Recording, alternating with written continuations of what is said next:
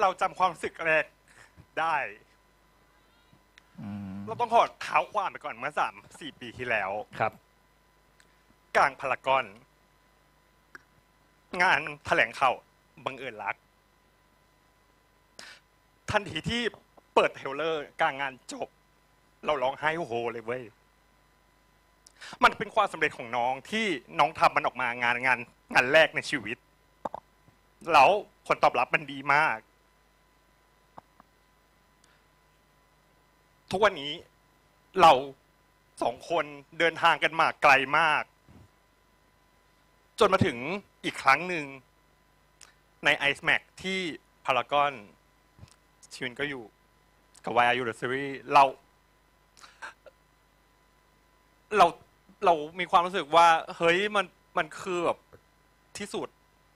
ในชีวิตในการที่น้องได้มีโปรเจกต์ใหญ่ แล้วน้องประสบความสำเร็จ แล้ววันเนี้ยมันมีความรู้สึกนั้นอีกแล้ว ที่แบบ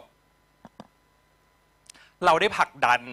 แต่งานเนี้ย น้องไม่ได้อยู่เบื้องหน้าแล้ว น้องมาอยู่เบื้องหลัง น้องทำเต็มที่มันคืองานอีกชิ้นหนึ่งของน้องของน้องเซนต์ที่น้องตั้งใจทำทุกอย่าง เรา เราออกกองกับชินุมา ตั้งแต่เช้ายันมืดเซนก็ไปถ่าย ซีรีส์เช้ายันมืดเหมือนกัน กลับมาบ้านถึงบ้านประมาณห้าทุ่ม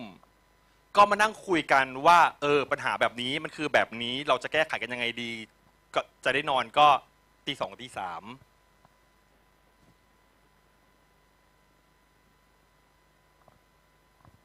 พอเห็นพอมาถึงวันนี้เราเห็นน้องๆทุกคน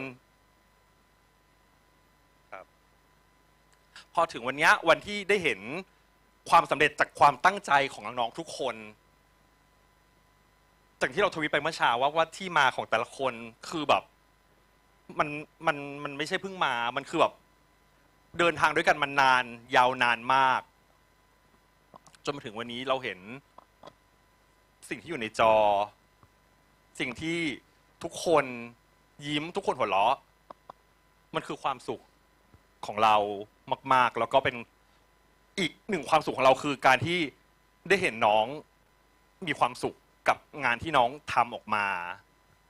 ก็อยากจะขอบคุณทุกทุกคนมาก ๆ เลยจริง ๆสำหรับวันนี้ครับ ขอบคุณมากครับ ครับครับ